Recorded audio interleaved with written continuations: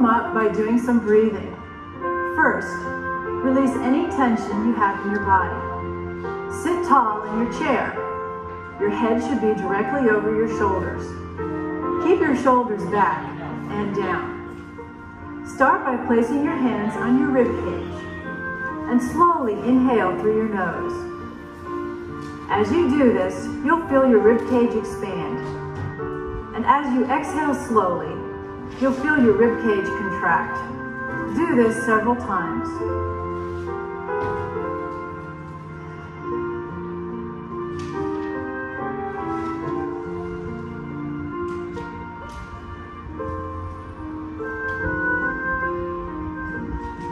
Remember, whether you're singing along or just doing the movements, relax. And most of all, have fun.